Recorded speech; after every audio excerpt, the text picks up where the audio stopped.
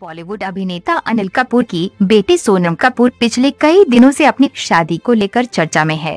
पिछले कुछ दिनों से सोनम की शादी को लेकर काफ़ी खबरें आ रही हैं, लेकिन अब सोनम कपूर की शादी की तारीख सामने आ चुकी है।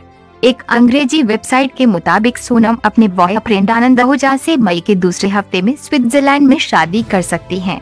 बताया जा रहा है कि दो दिन तक चलने वाले शादी समारोह का आयोजन 11 से 12 मई को होगा। सोनम के परिवार वालों ने और उनके क्लोज फ्रेंड्स अपने अपने काम से एक हफ़्ते का ब्रेक लेंगे ताकि वो सोनम की शादी अटेंड कर सकें। पिंक विला की खबर के मुताबिक, सोनम के एक करीबी दोस्त ने कहा है कि ज़्यादा से ज़्यादा गेस्ट मुंबई से फ़्लाइट में जाएँगे, लेकिन दुल्हे के परिवार वाले और दुल्हन के कुछ दोस्त दिल्ली से ही फ़्लाइट लेकर जाएँगे शादी की पूरी तैयारियाँ हो गई हैं।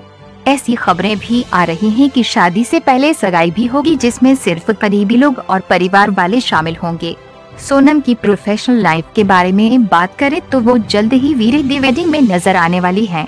फ़िल्म में उनके साथ करीना कपूर खान और स्वरा भास्कर लीड रोल में हैं।